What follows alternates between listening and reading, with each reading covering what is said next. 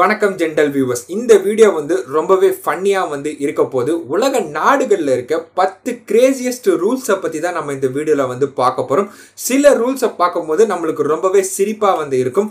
சில ரூல்ஸை பார்க்கும்போது நம்மளுக்கு ரொம்பவே ஆச்சரியமாக இருக்கும். அப்படிப்பட்ட சில சிரிக்கக்கூடிய ரூல்ஸையும் நிறைய ஆச்சரியமான ரூல்ஸையும் தான் இந்த வீடியோவில் நம்ம பார்க்க போகிறோம் ஸ்கிப் பண்ணாமல் பாருங்கள் அப்போ தான் எந்த ரூல்ஸையும் நீங்கள் மிஸ் பண்ண மாட்டீங்க. சேனலுக்கு புதுசாக வந்துருந்தீங்கன்னா மறக்காமல் அந்த சப்ஸ்கிரைப் பட்டனை வந்து ப்ரெஸ் பண்ணிக்கோங்க. வாங்க வீடியோக்குள்ளே போகலாம் Salam.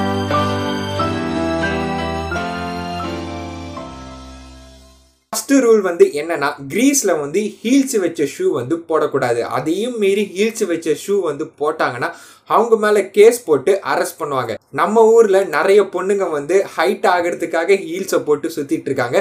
அந்த ஹீல்ஸ் ஷூ போட்டால் நடக்கிறது கஷ்டம் தெரியும் விழுந்து வருவாங்க. ஸோ அது போடுறது ரிஸ்க்கும் தெரியும். அதையும் மீறி நிறைய ஹீரோயின்ஸ் போட்டு கீழே விழுந்ததையும் நம்ம நிறைய வந்து பார்த்துருக்கோம். இந்த மாதிரி காரணங்களால் க்ரீஸில் வந்து ஹீல்ஸை வச்ச ஷூ போடுறத பேன் பண்ணியிருக்காங்க அடுத்ததா யுனைடெட் அரேப் எமிரேட்ஸ் இந்த மாதிரி அரப் கண்ட்ரீஸ்லலாம் வந்து பொது இடங்கள்ல கெட்ட வார்த்தைகளே வந்து பேசக்கூடாது. அப்படி கெட்ட வார்த்தைகள் ஏதாச்சும் வந்து பேசுனாங்கன்னா அவங்களுக்கு கடுமையான தண்டனைகள் வந்து கொடுக்கப்படும். இந்த மாதிரி ஒரு ரூல் இந்தியாவில் இருந்திருந்தா நம்ம மைண்ட் எங்கேயோ போகுதே.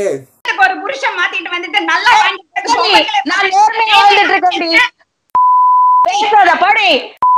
ஒருத்தனை வச்சுட்டு நூறு அதை விடுவோம். எல்லாருமே படிப்பு முடிச்சிட்டு பிறகு லைஃப்ல செட்டில் ஆகணும் அடுத்தடுத்த விஷயங்களை பண்ணணும்னு சொல்லிட்டு தான் எல்லாருமே யோசிப்பாங்க. ஆனால் ஃப்ரான்ஸில் வந்து பார்த்தீங்கன்னா எல்லாருமே படிப்பை முடிச்ச உடனே எல்லாருமே அவங்களுக்கான பரியல் பிளாட்டை வந்து வாங்கணுமா?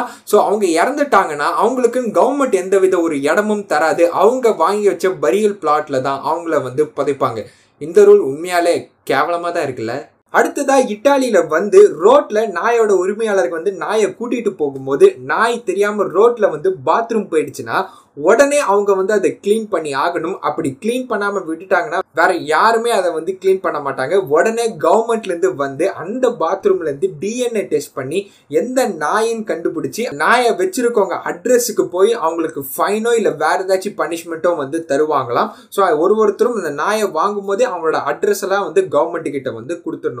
ஸோ ஒரு நாய் ரோட்டில் வந்து பாத்ரூம் போகிறதுக்கு எவ்வளோ பெரிய சட்டம் பாருங்க இட்டாலியில். ஆனால் நம்ம நாட்டில் வந்து மனுஷங்களே வந்து ரோடை அசிங்கப்படுத்திட்டு இருப்பாங்க. நாயாக அடுத்த கிரேசியஸ்ட் ரூல் பார்சிலோனியாவில் வந்து ஷர்ட் போடாமல் யாருமே வெளியே வரக்கூடாது.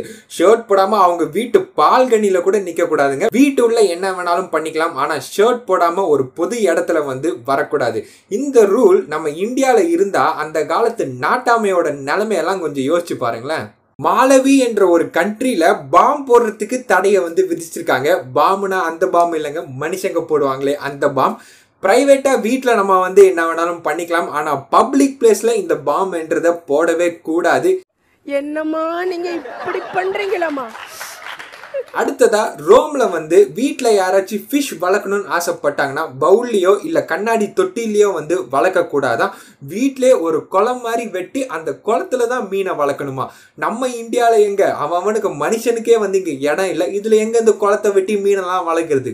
அதே மாதிரி போலாண்டில் வந்து பார்த்தீங்கன்னா டாய்ஸ் வச்சு டிஷர்ட்டை வந்து போடக்கூடாதான். ஏண்டா இதுக்கெல்லாமடா ஒரு ரூலு அடுத்ததா சிங்கப்பூர்ல வந்து பபுள் காம் விற்கிறத வந்து பேன் பண்ணியிருக்காங்க. அதையும் மீறி பபுள் காம் வந்து வித்தாங்கன்னா நம்ம இந்தியாவில் வந்து எப்படி கஞ்சா விற்கிறத பெரிய தப்பா கருதுறாங்களோ அதே மாதிரி அங்கே பபுள் காம் விற்கிறத பெரிய தப்பா வந்து கருதுறாங்க. நம்ம நாட்டில் இன்னமும் நிறைய பேர் நம்பிட்டு இருக்காங்க. முக்கியமாக நைன்டி கிட்ஸ் வந்து ஒரு பபுள் காம் சாப்பிட்டா நூறு சிகரெட் பிடிக்கிற அளவுக்கு சமம்னு சொல்லிட்டு. அடுத்ததா ஜப்பான்ல பார்த்தீங்கன்னா வருஷத்துக்கு ஒரு தடவை எல்லாரோட வயிறையும் வந்து செக் பண்ணுவாங்களாம்.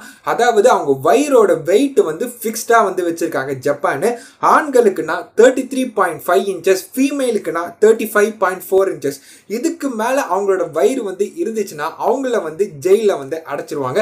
அந்த ஜெயிலில் வந்து என்ன பண்ணுவாங்கன்னா அந்த வயிறை வந்து அவங்க வச்சுருக்க நார்மல் சைஸ்க்கு கொண்டு வர வரைக்கும் அதுக்கான எக்ஸசைஸ் ஃபுட்டெல்லாம் வந்து தருவாங்க. மறுபடியும் நார்மல் சைஸ்க்கு வந்ததுக்கு அப்புறம் ரிலீஸ் பண்ணுவாங்க இது வந்து எனக்கு ரொம்பவே பிடிச்ச ரூலாக வந்து இருந்தது. ஏன்னா எல்லாருமே ஸ்லிம்மாக இருப்பாங்களே இது வரைக்கும் நம்ம பார்த்த ரூல்ஸ்லயே இதுதான் வந்து ரொம்பவே மட்டமான ரூலுனே வந்து நம்ம சொல்லலாம். சுவிட்சர்லாந்துல வந்து நைட்டு பத்து மணிக்கு மேல பழைய வீடுகளில் இருக்கிறவங்க வந்து பாத்ரூமை யூஸ் பண்ணக்கூடாதான். அப்படி பாத்ரூமை யூஸ் பண்ணாங்கன்னா அவங்க பக்கத்து வீட்டில் சத்தம் கேட்குமா? இதனால சுவிட்சர்லாந்துல வந்து நைட்டு பத்து மணிக்கு மேல பாத்ரூமை யூஸ் பண்ணக்கூடாதுன்னு சொல்லிட்டு ரூலை போட்டிருக்காங்க. இந்த ரூல்னால உங்களுக்கு சத்தம் கேட்காம இருக்கோ இல்லையோ ஆனால் பெரிய போரே வரும். ஏன்னா எல்லாராலையும் ஆத்திரத்தை கூட அடைக்கலாம். ஆனால் மூத்திரத்தை அடக்க முடியாது ராசா. ஸோ இந்த இந்த ரூல்ஸ்ல எந்த ரூல்ஸ் உங்களுக்கு ஆச்சரியமாக இருந்தது? எது ரொம்பவே ஃபன்னியா இருந்தது? இந்த ரூல்ஸ் எல்லாம் இந்தியாவில் வந்துச்சுன்னா இந்தியாவோட நிலைமை என்ன? என்னென்ன பிரச்சனைகள் வரும்? நீங்க நினைக்கிறீங்கன்னு சொல்லிட்டு மறக்காம கமெண்ட் செக்ஷன்ல வந்து சொல்லுங்க. இதே மாதிரி நிறைய இன்ட்ரெஸ்டிங்கான வீடியோஸை பார்க்கணும்னா மறக்காம ஜென்ரல் இன்ஃபர்மேட்டிவ் சேனலுக்கு வந்து சப்ஸ்கிரைப் பண்ணிடுங்க. வீடியோ பிடிச்சிருந்தா லைக் பண்ணுங்க ஷேர் பண்ணுங்க கமெண்ட் பண்ணுங்க. உங்களை நான் வந்து அடுத்த இன்ஃபர்மேஷன் வீடியோவில் வந்து பார்க்குறேன். தேங்க்ஸ் ஃபார் வாட்சிங்